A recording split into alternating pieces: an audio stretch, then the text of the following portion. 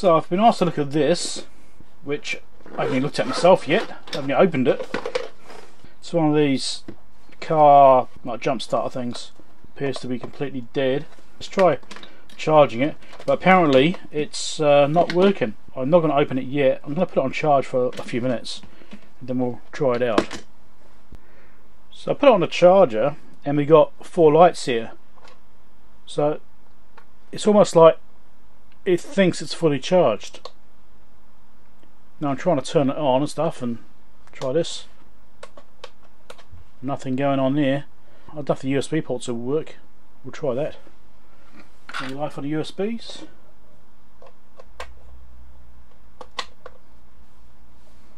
USB ports got nothing going on. Nothing on the USBs. Completely dead. So I'm not sure if it's got some kind of internal fault where it thinks the battery is fully charged but there's no power. Maybe it's got a blown fuse internally. The fact that these aren't coming on. A bit of a clue. So I'm going to leave this on charge for a little bit and see if anything changes there. Got the jump start terminals here. Let's just see if we've got any voltage on those. 13.2 volts, okay. If I pull the charger out, what happens? Okay, so the battery is not completely dead. And the charger is working. Okay. What voltage should this be? I have to work that out. So if it's using lithium ion batteries, not lithium iron phosphate, but lithium ion, it, it's probably going to be like 12 volts minimum, 16 volts maximum in that range. I think it's going to be in there somewhere. What voltage is coming out of this charger here? It's just 15 volts, 1 amp. That's what it's got there. What are we getting? 17 max. Okay, so 16 volt max is potentially right. Ah, we have a change. It started flashing to 25%. I think it's coming to life. Anyway, what I'm doing right now is doing things like checking zoom out slightly. Checking these jumper cables for example. Just going to check these make sure these work. 0.2 ohms yeah that's fine. Check the other one. 0.2 ohms so the cables themselves are good. We've got the cigarette lighter socket adapter. That probably goes straight through. Um, sometimes which side you go to matters. There we go. That's working. And here to center pin. Yep that's good as well so the, that cable works too. So eliminating lots of stuff it's currently charging so so even I was sitting here flashing I've tried the various buttons and stuff like the, well, the button and the switch in various combinations holding down pushing and that sort of stuff and there's no life. Either it is partially dead or it's waiting for the charge to come up more because it's currently dead flat. Don't know yet so what I'm going to do is let us charge up to say 50%, 75%, something like that. It can take a while. And it does have screws here we can get out. This one looks like it's loose. It doesn't look like it's actually done all the way out. Let's get a screwdriver. I won't go in there. Different screwdriver. Oh no, it is tight. The screws are accessible. It looks like these bits of trim here will probably have to come off because it's obviously going to be a shell case where it's in two halves. So I think these covers here will have to pop off somehow. There you go like that. That'll give access to it. Still no life. Still nothing so yeah. So it's suddenly jumped up from 25% to 50% to 75% to 100% flashing now. Literally in space of a minute So I've started taking it apart. I've been trying different things to get it turn on and there is nothing happening. So I've started taking it apart. I've loosened off some of the screws already. Let's get the rest of these off and look inside. I'm suspicious that the fact it's suddenly jumping up that quickly that something's going wrong inside.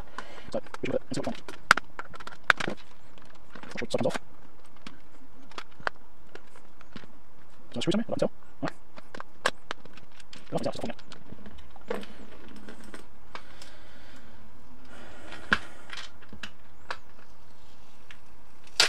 There we go.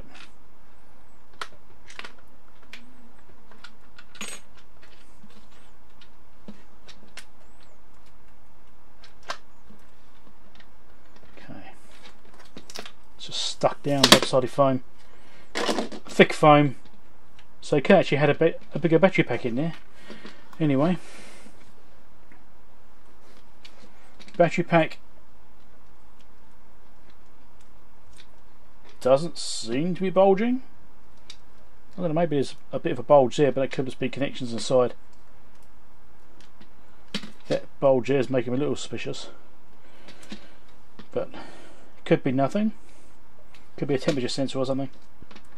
Let's unplug this cable here to disconnect the battery from the electronics. And let's just have a look at this. Just in case there's anything to see on here. See that? Could just be a bit of flux or maybe a little bit liquid? Maybe. Just a little bit.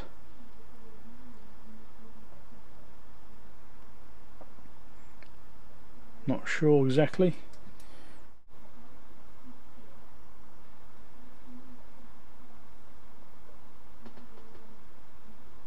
Now I'm seeing one thing on here I'm not sure of. Could be nothing.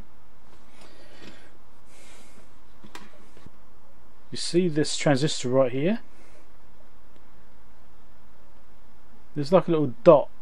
There it looks okay. You bring it around there's a little dot in the center.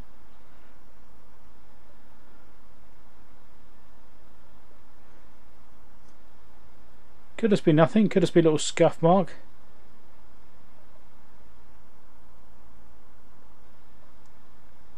see that like a line maybe a sign of failure I think we should check that. Right, let's test this transistor, see if we get anything which looks like a problem. I'm seeing absolutely nothing there. That is interesting. Now there is another one of those. Let's measure exactly. Like this one here. This is exactly the same part.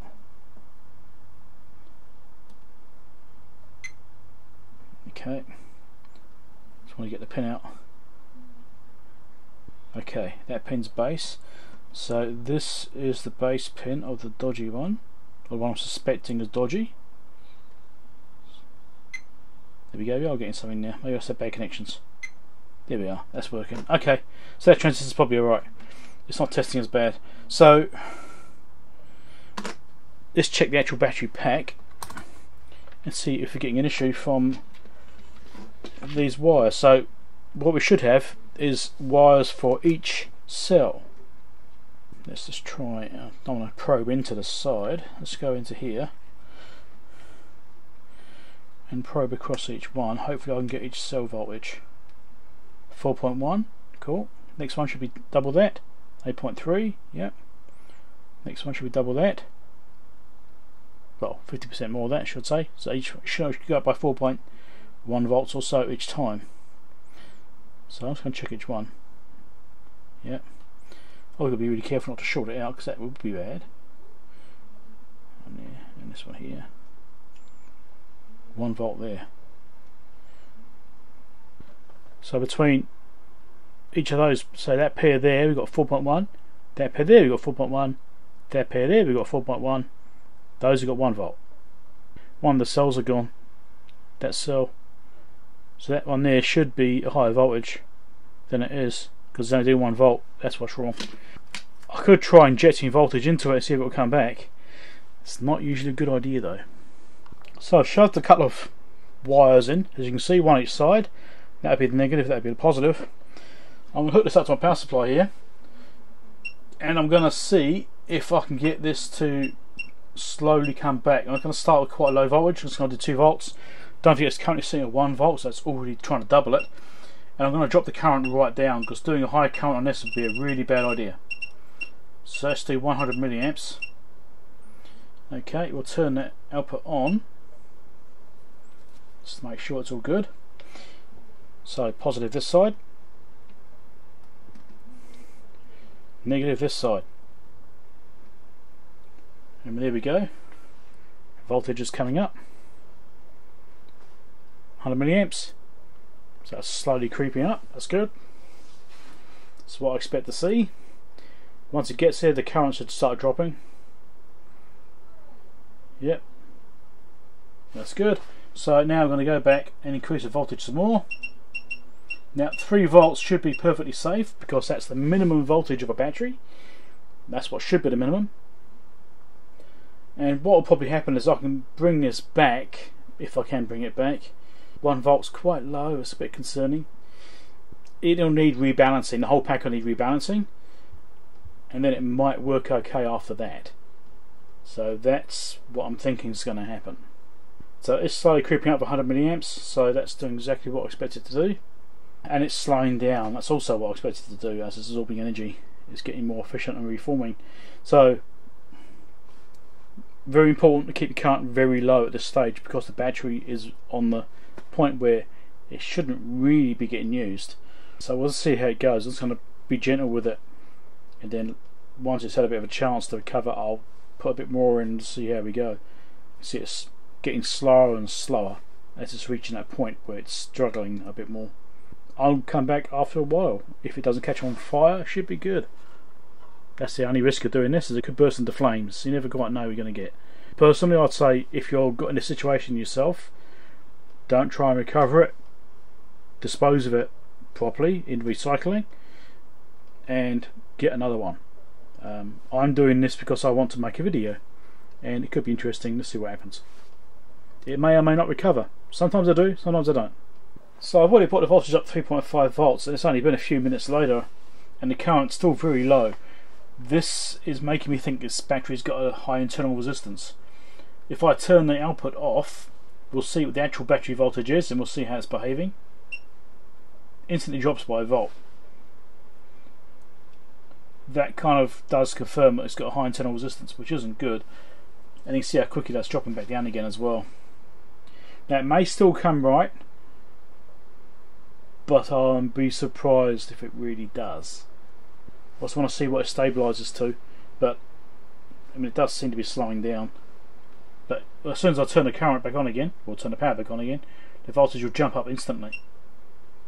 See that? Jumped up by a volt, even 100 milliamps. That kind of leads to that high internal resistance thing being a thing.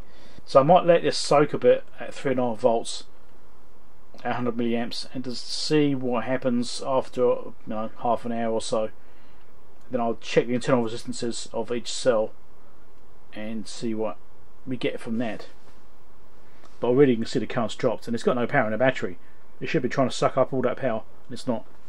So I left on charge for a while now and I've got up to 4 volts but I think this thing's unrecoverable. I don't think I can get this to work. It just isn't restoring itself. Now, when I've done this previously in other things, it's I'll be able to recover them, and they've been usable, and they've behaved okay as you know they charge up correctly and that sort of stuff. This is not charging correctly. If I turn the power off, see it collapses instantly by a volt, and it's still below three volts, even though I've had it on for ages now. Okay, it's only a really low current. It's been trickling in sort of you know 30 milliamps or so. I checked the internal resistance of the battery, and well, that cell that cell is 150 milliamps resistance which is quite high. And you can see it's collapsing down. That is gradually coming up. The fact it's still not sitting above 3 volts means the chemistry is probably knackered on this cell.